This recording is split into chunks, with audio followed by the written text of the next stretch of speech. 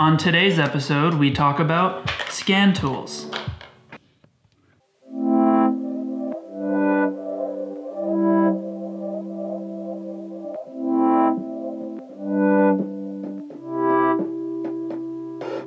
Now, if you own a BMW, you need to have a scan tool. And there's many different scan tools and flavors to choose from. And to be honest, you can probably find something that fits your price range uh, depending upon your budget. The first OBD2 scanner that I ever bought was this Actron scanner, and I think I paid something like $30 for it. It can currently be purchased uh, pretty much any Walmart around the country for about $20. They typically carry these in the store. And this will pretty much just do generic trouble codes for your engine. Um, this one is probably close to eight years old and I'm still using it. Uh, it's pretty reliable and I always keep one with me in my car. This is a really great scan tool. I've used it for many years and I think that this is probably a really good first one to pick up for like 20 bucks. Um, however, it does have some downsides, especially if you're getting into, you know, some deeper layers with your BMW, primarily the airbag system, um, the ABS system, or the transmission. When I first bought this, I had an airbag fault in my E39, and I wasn't able to check it myself. So in addition to having this, you also would want to purchase a cheap airbag scan tool, which is the B800 tool. Now these are about 10 to $20 on Amazon. And this will also get the job done. Uh, it has some drawbacks as well. Now maybe like seven or eight years ago, this is a really good tool to have and you could clear the code. It has some quirky drawbacks to this. You could clear your codes by having to go through the cycle like twice. Uh, if you went through once, it won't delete it, but you have to do it twice with this tool. Um, kind of a weird drawback, and I'm not really a big fan of this tool, but it's cheap, and if you already have one of these and you don't have enough money for one of these, then you can buy one of these. Next on the review list is one of the Bluetooth OBD2 scan tools.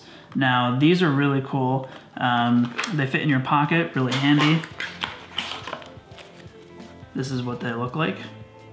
I guess this is like a Wi-Fi or Bluetooth adapter and this has the same matching pins Look how small this thing is. This is really cool, fits in your pocket, very handy, and this is substantially more useful than the standard OBD tool here.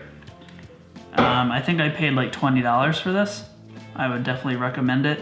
Um, this will tell you freeze frame and live data, uh, such as like your oxygen sensors or you know your fuel trims, other freeze frame data uh, for emissions, um, whereas this is really basic.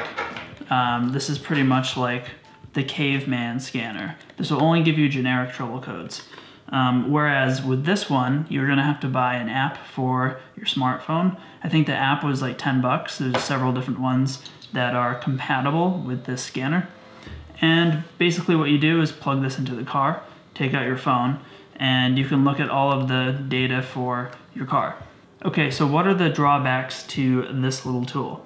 Um, sometimes these are kind of funky. They have like connectivity issues and they're not very user friendly. Um, whereas something like this, you plug in and it works every time.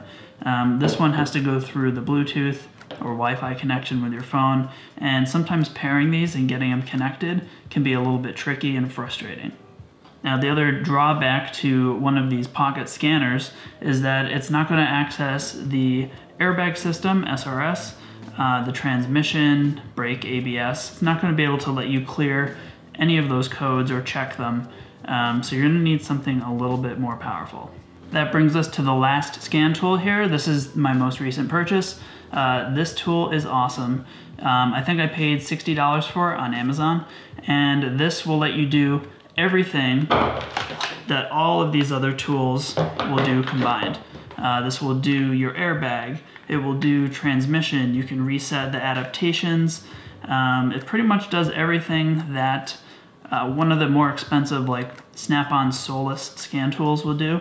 Um, and I used to work at a shop while I was uh, while I was in college, and my boss at the time purchased one of those Snap-on Solus uh, scan tools, and I think it was like ten thousand dollars. Um, so yeah, for $60, you can pretty much do almost everything, to my knowledge, everything that I've needed to do. So yeah, this is great. Uh, let's go out into the car and I'll give you a little demonstration of what this guy looks like while it's turned on and plugged in.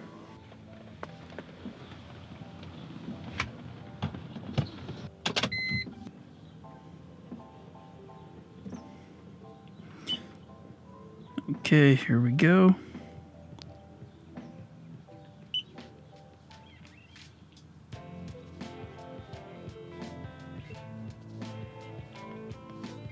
Sometimes this thing can be a little slow.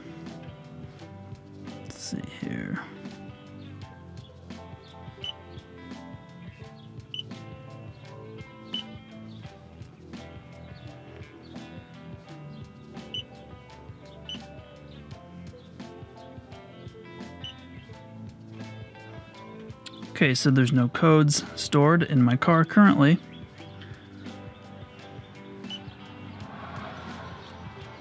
If there was a code, I would just go down to erase and it can be erased.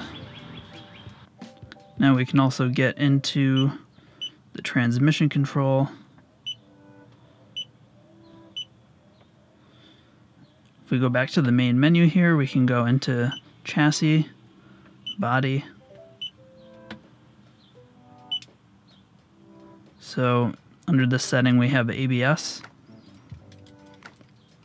Uh, you can also do tire pressure monitors.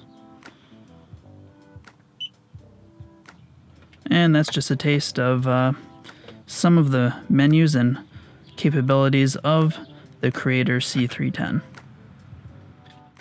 If you're in the market for a new scan tool for your BMW or any of the cars that you own, this is the guy to go with. As always, I'll put the link for this in the description below. As always, thank you guys so much for watching. I hope this video helped you out. If it did, please smash the like button and subscribe.